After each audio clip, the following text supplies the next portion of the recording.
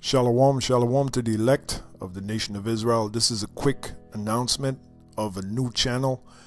Now, as you should know, that this channel here, Daily Edification, Daily Exhortation, I've been locked out of this channel. I received a second strike for a video I did uh, dealing with the, the woman and how she used to be quiet. Um, and that video was removed, and they gave me a second strike on the channel, this channel here. So I'm locked out of it. I can't upload videos on it, and I think uh, that's gonna last for what three months, 90 days, something like that. So I went ahead and had this channel made from for me, Daily Edification, Daily Exhortation number two. Okay, so the videos that I've been doing, uh, Daily Edification, Daily Exhortation, I've been doing it on. Uh, bear with me for a minute. Let me show you. I've been doing it on this channel here, Israelite. Okay, so the videos are now going to be on this channel here, Daily Edification, Daily Exhortation number two, and I'm going to put the link in the description box. Okay, so just giving you a heads up on where you can find those videos. This is going to be the new channel until they do the same thing, give me some strikes, and then take down the channel. Like I said, I look at YouTube as a you know, some people look at YouTube as a career, make a career on YouTube. I look at it as what it really is. It's nothing but a medium for Yahweh Bashem Yahushai to push this word. Okay, and the days are coming when it's going to be done away with. Like I used to tell uh, back in Bridgeport, Connecticut, many years ago, I used to tell the brothers who used to come to the school, look, the days are coming when those doors are going to be shut. And guess what? The days came when the doors were, the doors became shut. You know, shortly after 9 11, Apostle Elder Tahar gave the order to shut down the school. Okay, so that's how I look at YouTube. The same way I looked at the school back then is the same way I look at YouTube. You know, it's just nothing stays the same, everything moves to the next level. Okay, so, you know, while we have YouTube right now it's just a medium to push this word. That's all it is. Okay, that's why that's why it was created. You know, and we were discussing that on our way down to camp. You know, the, the with everything that goes on in YouTube, the main reason why it was created, YouTube was created, was to push the Lord's word, to fulfill the prophecy located in the book of Matthew. Let me get that. Matthew 24 and 14. Okay. I wasn't really going to do a long, not a long video, but I wasn't really going to bring out a scripture, but, you know, I got to. Okay. Matthew 24 and 14. Let's read it. It says, uh, and this gospel of the kingdom, which is what we teach, right, shall be preached in all the world. Now, how is that possible? Through the internet, through the biggest uh, channel used to push the word on the internet, which is YouTube. Okay? And this gospel of the kingdom shall be preached in all the world for witness unto all nations, and then shall the end come. So we're very close to the end. Okay? Because this gospel has reached the four corners of the globe. And by the way, at the same time this gospel has reached the four corners of the globe, it's, it's doing what? It's sealing the elect. Because the scriptures speak about the elect being sealed. As a matter of fact, let's get that in Revelation 7. And once the elect is sealed, all hell is going to break loose.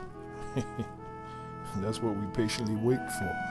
It is right here, Revelation 7 and uh, I think it's the fourth. No, let's start the first verse. Revelation 7 and 1. And after these things, I saw four angels standing on the four corners of the earth, holding the four winds of the earth. Now, that wind is a destroying wind. You find that in. And what is that destroying wind? The nuclear missiles. The wind of the nuclear missiles, which is the wind of destruction. Let's get it. Jeremiah 51 and one. So that so the angels are holding back that that wind of destruction. And we're going to find out why they're holding back the wind of destruction. Jeremiah 51 and 1 Thus saith the Lord, Behold, I will raise up against Babylon. Who's Babylon? America is Babylon. The word Babylon means confusion. That's what America is. America is. It's nothing but a, a, a place of confusion. Okay, wickedness and confusion. So this is the Babylon Jeremiah 51 and 1 is talking about. I'll raise up against Babylon and against them that dwell in the midst of them that rise up against me a destroying wind. that destroying wind is, like I said, is the nuclear missiles. Okay? And will send unto Babylon fanners that shall fan her and shall empty her land. For in that for in the day of trouble they shall be against her round about. That's the day of the destruction, the day of the nuclear missiles along with the chariots. That's that destroying wind. So that wind is being held back by the angels, right? Let's go back to Revelation 7 and 1. And after these things I saw four angels standing on the four corners of the earth, holding the four winds of the earth, that the wind should not blow on, on the earth, nor nor on the sea, nor any tree. Now, you feel the wind every day. Okay, there's some days that are windier than others. So, what wind is this talking about? This is a dark saying. This is a parable for the nuclear missiles, the wind of the nuclear missiles, nuclear destruction. So, the angels are holding it back. Why are they holding it back? Let's keep reading. And I saw another angel ascending from the east, having the seal of the living power, and he cried with a loud voice to the four angels to whom it was given to hurt the earth and the sea. See? That wind is what? The nuclear destruction. Saying, Hurt not the earth, meaning don't bring the nuclear destruction, neither the sea nor the trees, till we have sealed the servants of our power in their foreheads. And who is that? The elect. Seal them with what? This truth.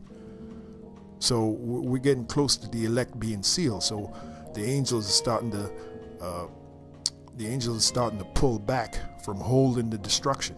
Okay? The angels are starting to pull back from holding the destruction. So once the servants are sealed, that's the elect, sealed with this truth, sealed with this knowledge, all hell is going to break loose. Okay?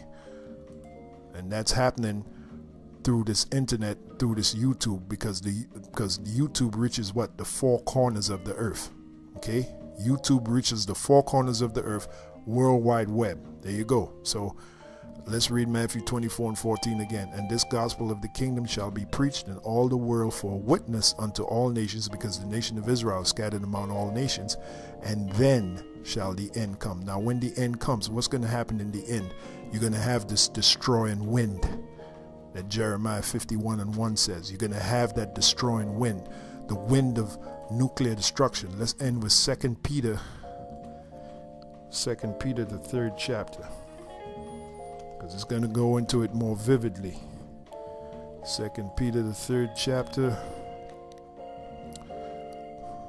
Okay, uh, let's see what it is right here. Uh, Second Peter 3 and 10, but the day of the Lord will come as a thief in the night, in the which the heavens shall pass away for great noise. That's the noise made by those nuclear missiles. And the elements shall melt with fervent heat. The earth also and the works that are therein shall be burnt up. And that's just parts of the earth, which includes America. 100% of America going to be destroyed, torn apart. Seeing then that all these things shall be dissolved, what manner of persons ought you to be? In all holy conversation and godliness, meaning this truth. The best thing we can we can uh, do is speak about this truth, is teach this truth, is prophesy this truth. Okay? Looking for and hasten unto the coming of the day of the Most High, wherein the heavens being on fire, that's that destroying wind, shall be dissolved, and the elements shall melt with fervent heat. That destroying wind, Jeremiah 51 and 1.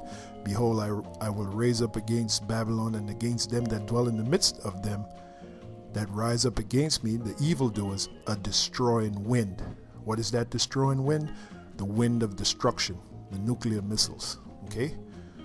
So that can't happen until the elect is sealed. Okay? Revelation 7 and 4.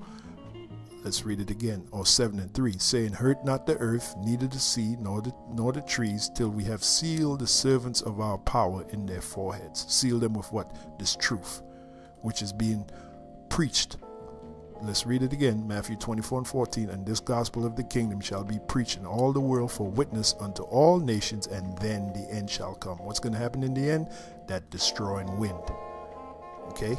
The elements being on fire. Okay? Elements melting with fervent heat. The heavens being on fire. Okay? And then what's going to happen after that? Well, let's read it. 2 Peter 3:13. Nevertheless, we, according to his promise, look for new heavens and new earth wherein dwelleth righteousness. So that's what's going to happen after the destruction. And that's when us Israelites are going to rule, and it's going to be called what? The kingdom of Yahushai by default, which is the kingdom of Israel, the kingdom of heaven. Okay? So that's it. All right, so again, let me uh, make mention. Uh, I'm locked out of this channel. So this is going to be the new channel. I'll put it in the description box and uh, you can go check those videos out. So for daily edification, daily exhortation number two, this has been another video. Hopefully you were edified. So on to the next one. Shalom for now.